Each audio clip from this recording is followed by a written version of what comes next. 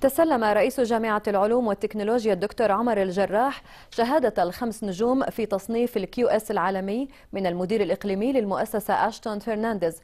ومن شأن هذا التصنيف أن يضع الجامعة على سلم العالمية ويمنحها المكانة التي تستحق تحقيقا لرؤية جلالة الملك عبد الله الثاني بن الحسين حيث ساهمت الرعاية الملكية التي حظيت بها الجامعة والجهود الحثيثة التي بذلها أساتذة الجامعة والعاملون في تحقيق هذا الإنجاز الكبير. وأبقى أفقها في دائرة التميز.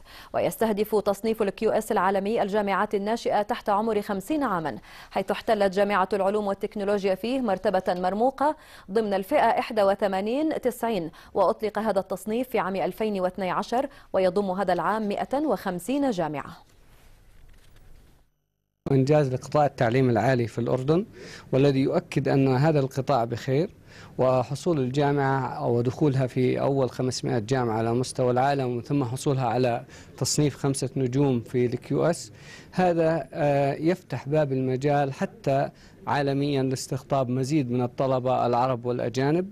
وهذا وهذا جاء وفق الاستراتيجية الوطنية لتنمية الموارد البشرية.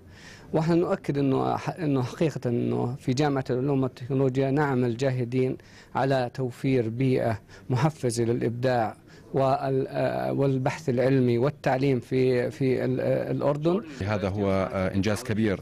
ليس لجامعة العلوم والتكنولوجيا فقط بل للمملكة الأردنية الهاشمية وللتعليم العالي قطاع التعليم العالي في الأردن. كما أن هذه الجائزة لم يحصل عليها إلا 50 أو 60 جامعة عالميا.